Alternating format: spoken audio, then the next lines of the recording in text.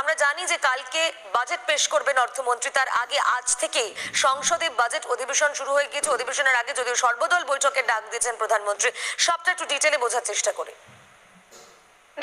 আজকে যদি বলি যে আজকে থেকে সংসদের বাজেট অধিবেশন শুরু এবং অত্যন্ত টান টান কিন্তু কাজ, অত্যন্ত আজকে বিজি শিডিউল রয়েছে।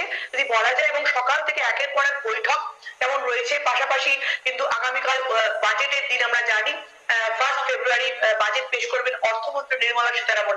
এবং সেখানে আজ কিন্তু সকাল সাড়ে দশটায় প্রধানমন্ত্রী নরেন্দ্র মোদী, তিনি মিডিয়ার সঙ্গে কিন্তু তিনি কথা বলবেন।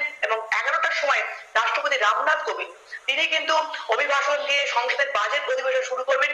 তারপরে কিন্তু ইকোনমিক সার্ভে পেশ করা হবে এবং একদিকে যেমন আমরা জানি যে সর্বদলীয় বৈঠক ডেকেছেন প্রধানমন্ত্রী নরেন্দ্র মোদী এবং সরকার পক্ষ এবং সেটা বিকেল তিনটের সময় কিন্তু ভার্চুয়াল বৈঠক হবে। সমস্ত দলের নেতাদের, যারা বিরোধী দল তাদের সঙ্গে তিনি বৈঠক করবেন এবং আমরা অবশ্যই সেটা আগেও যেমন দেখে দিচ্ছি আচরিত ভাবে যে সংসদ যাতে সঠিকভাবে চলে, বিতর্ক যেমন আছে পাশাপাশি সরকারের পক্ষের মধ্যে সামঞ্জস্যতা রেখে যে সংসদ চালিয়ে যাওয়া সেই রীতি সরকারের তরফ থেকে বারবারই কিন্তু জানানো হয় বিরোধী পক্ষ এবং সেই মর্মে এবারও সেই বৈঠক ডাকা হয়েছে পাশাপাশি বিএসসি মিটিং রয়েছে দুপুর একটার সময় এবং পাঁচটার সময় ভেঙ্কাইয়া নাইডু আমরা জানি যে ভেঙ্কাইয়া নাইডু চেয়ারপারসন তিনি কিন্তু সমস্ত রাজ্যসভার যারা নেতা তাদের সঙ্গে আলাদা একটা বৈঠক করবেন আচ্ছা। অর্থাৎ কিন্তু একের পর এক বৈঠক রয়েছে এবং কাল আহ, সকাল সীতারামন তিনি কিন্তু বাজেট পেশ করবেন সংসদের সংসদে এবং আমরা জানি এবারের বাজেটটা কিন্তু ঠিক এই জায়গায় যেহেতু বাজেটের কথা তুমি বলছো বাজেট নিয়ে সাধারণ মানুষের বেশ কিছু এক্সপেকটেশন থেকে থাকে। এবার কি এক্সপেক্ট করতে পারে সাধারণ মানুষ?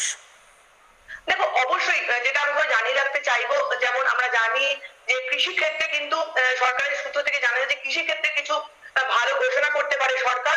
এবং পাশাপাশি যেভাবে আমরা কোভিডে গোটা দেশ যেভাবে আমরা জানি নাস্তানাবুদ হয়ে গিয়েছে গত দু বছর সেখানে হেলথ সেক্টরেও কিন্তু বড়সড় কিছু ঘোষণা আচ্ছা। করতে পারে। সরকার এমনটা সম্ভাবনা প্রবল রয়েছে। পাশাপাশি গোটা দেশের নজর থাকে কি? ট্যাক্স ছাড়ের দিকে। এই ট্যাক্সে কি বেনিফিট পাবে সাধারণ মানুষ? সেই দিকেও কিন্তু একটা নজর রয়েছে। কারণ এটা হচ্ছে দশম বাজেট নরেন্দ্র মোদী সরকারের। এবং প্রধানমন্ত্রী নরেন্দ্র মোদীর দ্বিতীয় টেনচারে এটা কিন্তু চতুর্থ রাজ্যের নির্বাচন এবং সেই নির্বাচনকে সামনে রেখে নির্বাচনী রাজ্যগুলোকে সরকার কি উপহার দেবে সেটাও একটা গুরুত্বপূর্ণ দিক। অর্থাৎ সব মিলিয়ে কিন্তু টান টান এবার আচ্ছা, বাজেট। চলেছে এমনটাই বলা যাচ্ছে বেশ আপাতত ধন্যবাদ।